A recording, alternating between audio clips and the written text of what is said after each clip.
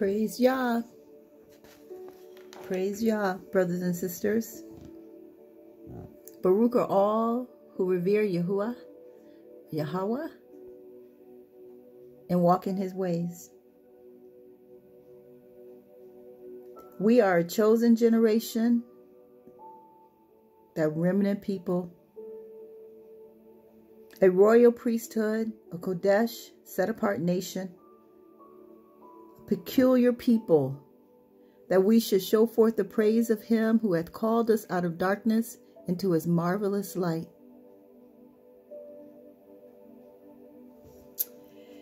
May we continue to get into more and more light, brighter and brighter light, right? Praise Yahuwah. So today we're going to talk about decree, decree in a thing. Earlier in the, in the week, I was looking through a notebook and I saw where I had taken notes about the decreeing and the authority that we have in the name of Yahuwah. And um, I felt led to just do a little short little something to remind Yah's people who may have let it slip, like sometimes I do, that we do have that authority as part of our inheritance, that we have the authority in the name of Yahuwah, in the name of Yahushua has been. So I'm going to read um, from Psalms Tehillim 40, verse 14, first as it is written, and then I'm going to do it as a decree. Or I'm just going to do it as a decree, just to save time. Um, so he says, Be pleased, Yahuwah, to deliver me. Yahuwah, make haste to help me. Let them be ashamed and confounded together that seek after my soul to destroy it. Let them be driven backward and put to shame that wish me evil. Let them be desolate for reward of their shame that say unto me, Aha, aha. David knew who he was in Yahuwah. And he, when he prayed, he prayed in a manner of decreeing. Um, and so that's what we can do. And he always got results. Um, so then we are going to now listen to the meaning of the word decree. And the first word I'm going to tell you about is called dictus, It's pronounced diktat. And I heard a lady several, several, several years ago talking about it. And um, she gave the definition, she says it's a German word um, for decree, and that it means a statement or order that cannot be stopped. It is a harsh settlement imposed on a defeated opponent or enemy. That's deep, right? That's power. In the Hebrew meaning, uh, it means to divide, to cut in two, to separate, or exclude. Therefore, to decree is to divide and separate and permanently and permanently make it valid. It's unchangeable. It's an order, a command, and it is imperative. So there's power in decreeing a thing. If you remember in the book of Esther, um, Haman set out a decree against all the Jewish people for his because of his hatred for uh, uh, Mordecai and the Jewish people. And um, he tricked the king into getting that power. But we didn't trick the king to get in the power. First of all, our king knows all things. There's no way he's going to be tricked. Um, but he has given it to us as joint heirs with his ben for believing on him and believing in him um, and trusting in them and standing on their word and guarding the Torah and being Shabbat keepers and commandment keepers. So we've been giving that, given that authority against the enemy. So, but in the book of Esther, you'll have to read it again. You'll see. And then the king in the end gave Esther the same power, the same power and authority. So in Job 22, verse 28, it says, You shall also decree a thing, and it shall be established unto you, and the light shall shine upon your ways. So it will be seen. What we speak, it will be seen. Um, the truth of it will come to light. Um, the results of it will come to light, and we can de decree a thing. Elohim told Job that, and it's the same for us. In Mark 11, 22, and Yahushua answering said unto them, his taught ones, Have faith in Elohim, for verily I say unto you, that whosoever shall say unto this mountain, Be you removed, and be you cast into the sea, and shall not doubt in his heart, but shall believe that those things which he says shall come to pass, he shall have whatsoever he says.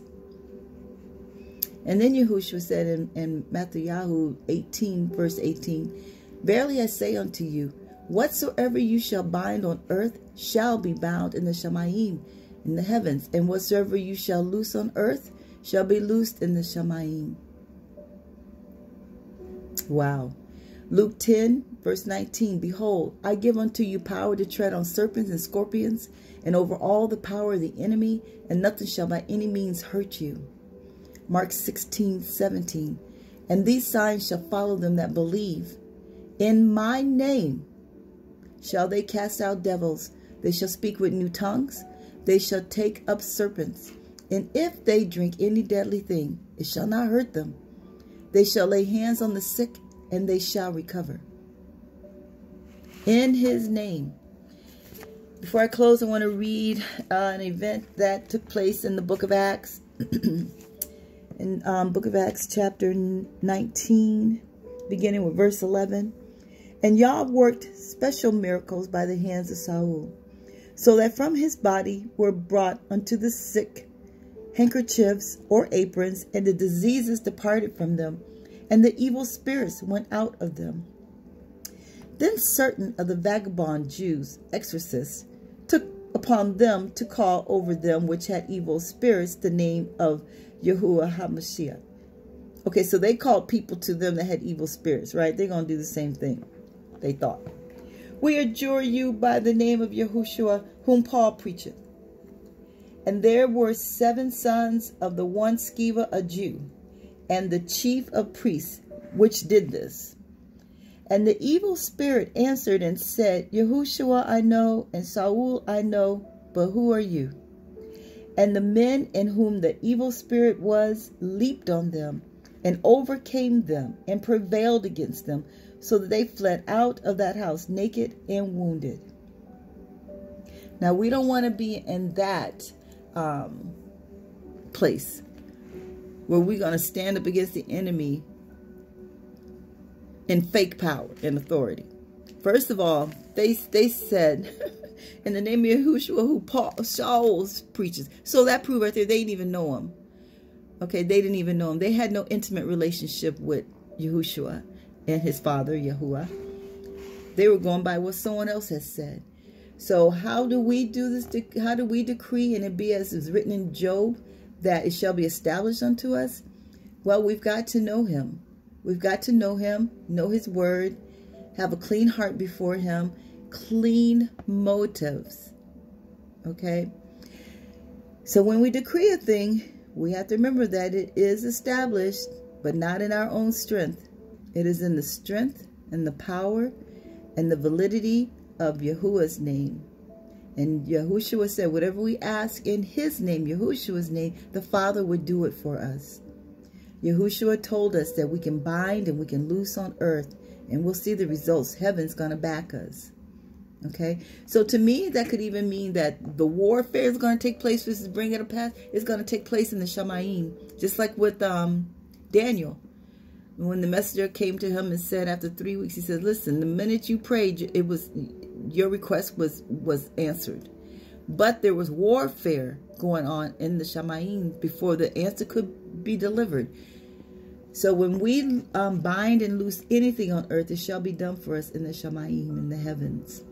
Okay? So, remember, it's not in our strength. Our motives have got to be pure. We have to know where our strength comes from, where our help comes from. Um, one Psalms 121, Tehillim 121, I look to the hills from which cometh my help. My help cometh from Yahuwah. Our words change our atmosphere. So what do we want? We want our atmosphere to be that that lines up with the word of Yahuwah, then we need to speak his word, right? Our words change our atmosphere. And we have to remember that when we decree, it separates and it divides and it makes it valid, permanently valid from the opposing spirits that come to kill steal, kill, and destroy.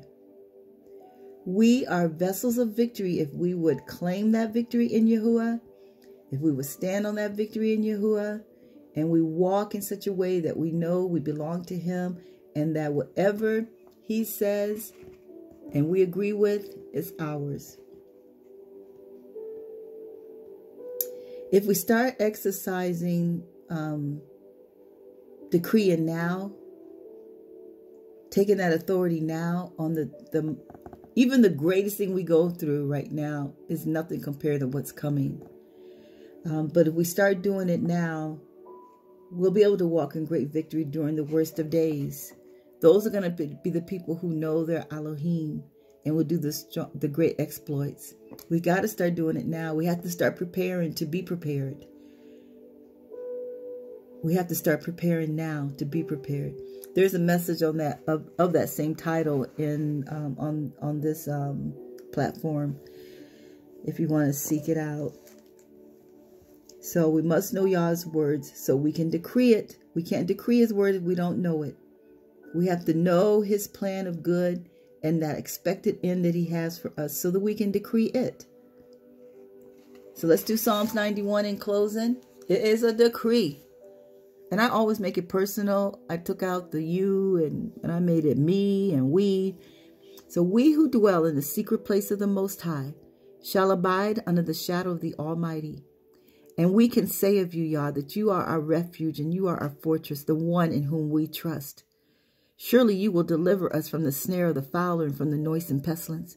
You will cover us with your feathers, under your wings shall we trust. Your truth is our shield and our buckler, our armor. We shall not be afraid of the terror by night, nor for the arrow that flies by day, nor for the pestilence that walketh in darkness, nor for the destruction that wasteth in noonday. A thousand shall fall at our side, and ten thousand at our right hand, but it shall not come nigh me. It won't come nigh us. It will not come anywhere near us. For only with our eyes will we behold and see the reward of the wicked. Because I've made Yahuwah my refuge, even the Most High my habitation, there shall no evil befall me, neither shall any plague come nigh my dwelling. For you have given your angels charge over me, Yahuwah, to keep me in all my ways. They'll bear me up in their hands, lest I dash my foot against a stone. I will tread upon lions and adders, and young lions and dragons will I trample under feet. And because I've set my love upon you, therefore will you deliver me. You will set me on high because I've known your name. I shall call upon you, and you will answer me, and you will be with me in trouble. You will deliver me, and you will honor me, and with long life will you satisfy me and show me your salvation. I decree this word. I am in agreement with this pro these promises. All in Yahuwah's name. And because of Yahusha's obedience, and completing the work that he was sent to do. So with that, brothers and sisters, be encouraged. Remember, we can decree a thing and it shall be established unto us. Find it in the word, stand on and decree it to be so. And it will knock down the doors of the our opposing, um, our enemy, the, the, and bring us victory over the adversary. And um, we won't be defeated because the word decree means a harsh settlement imposed on a defeated opponent or enemy. And I like that because he's already defeated. Our opponent's already defeated. But if he's not defeated in our mind and in our thinking, you know, he's as alive as we let him be, right? So let's begin to let's begin exercising that now you know, there's a scripture, I think it's in Jeremiah, it says that if, and I'm not quoting it right, I apologize, but something like this, that um, if we um, are having problems, you know, running with the, with the horsemen, what are we going to do with the horses or something like that? I apologize. I'm going to put it in the comment, just below in the comment box or description box so that you can read it. Um, but in other words, if we can't, you know, uh, be overcomers and more than conquerors now and decree and stand strong now, what are we going to do when this stuff is turned so upside down? I mean, everything is being played to bring us to that place. There's so much, there's chaos, but it's not as much chaos as it's going to be. There's confusion. There's more and more deception being, uh, just so much taking place right now that is setting the stage. We're setting the stage where there's going to be a divide among the peoples. There's going to be a divide. And there's going to be more on one side than there is on the other. But the size that the side that looks like they're small in size, small in number, are the greater ones. And so we want to be like the Joel army. We want to be strong. We want to be valiant. We want to do our Father good, right? We want to bring good to him. Well, I don't want to say the word proud because he is not proud. He don't have to be proud. he is.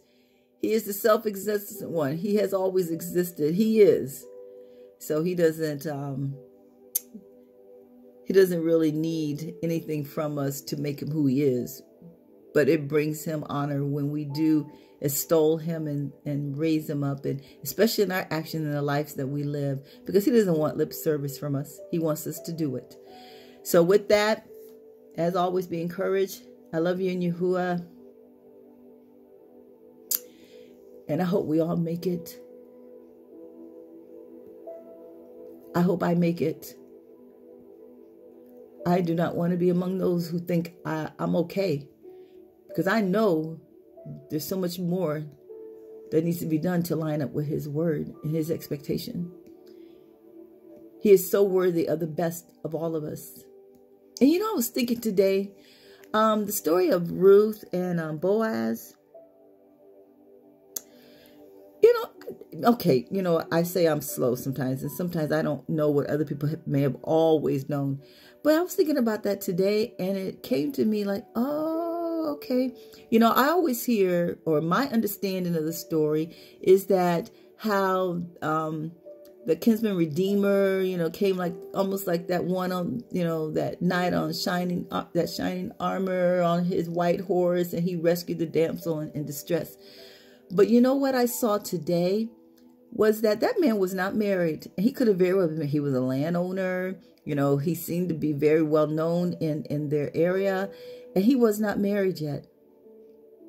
And it came to me that him being our kinsman redeemer, right? He's, he's a reflection of our kinsman redeemer, Yahuwah. He was waiting for that right one. He was waiting for that right one just like Yahushua. Yahuwah is waiting to get that bride all together and ready for his bin. Wow. I was like, oh, Father, I never saw like that before. Boaz wasn't married yet. Why not? Why not? Surely there were a lot of girls who would have really liked to be married to him, but he wasn't. Until Ruth. So I thought I said I need to go back and read and just look at some of her qualities. I mean, I know the top of my head, but I really want to really look into that.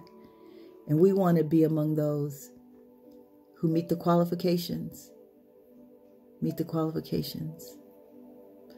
And that oil in that lamp, guarantee you it goes back to something with the word in the Torah and the um, commandments.